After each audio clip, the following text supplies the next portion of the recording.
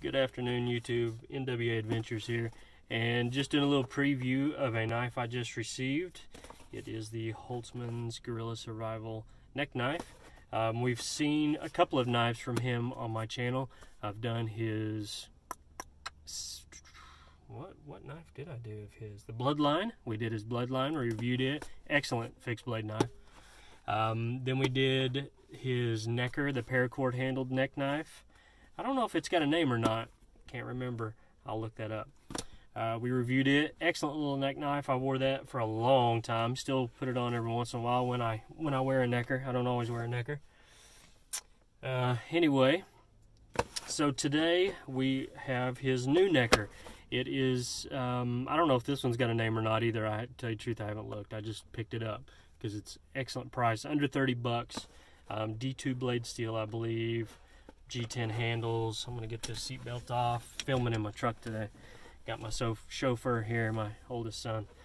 Uh, anyway, so we're to open this up on camera here and do a little preview and then later, hopefully later today, maybe later in the week, I'm to try to get out and use this puppy, but for right now, we're to check it out. So right away, nice presentation box. I don't know if you can see kind of what's in here.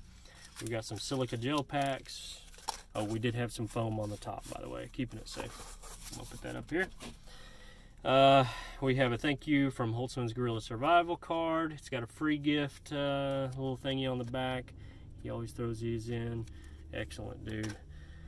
Um, and then inside we have the knife. So first I'm going to pull out the sheath and show that to you. Now this is almost exactly like his paracord necker as far as sheath goes. It does have the sharpener, which feels about the same uh, coarseness, like a medium coarse, um, as the other necker. Again, I, I, would like to see that to be more fine, but I understand if that's what you got to put on here, and if that's uh, what works, and hey, that's that's what you know people want. So, but I'm glad to see it. It's, it's useful. Also, the ferro rod loop, which is removable. The ferro rod looks to be the exact same rod that came with the other um, paracord handled uh, neck knife.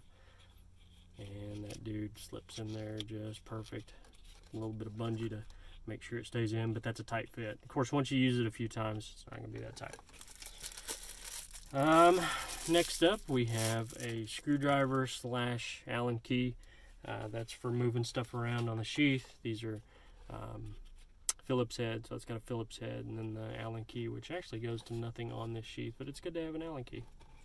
We won't use that right now because I like keeping the ferro rod on here. And then the uh, main event here, which is the neck knife, and it's even stamped D2 steel. It's got the little Holtzman Gorilla logo there, and this is a tiny knife, but dude, that handle is so comfortable. Uh, really substantial G10 with red liners. Probably see that there. Nice thickness, about an eighth inch thick or so. A feels like a flat, might be a little bit of a hollow grind. Yeah, it's probably a little bit of a hollow grind, but uh, nice and pointy, and it feels like that dude is sharp, sharp right out of the box. Let's see if we have a piece of paper we can play around with here. Yeah, we got cardboard box down here, so. Oh yeah, uh, if it's gonna do that, then hey, it'll slice paper as well. Excellent little blade. This thing feels great in the hand. The finger grooves are just in the right spot. It's round all over. Um, no hot spots, no rough edges.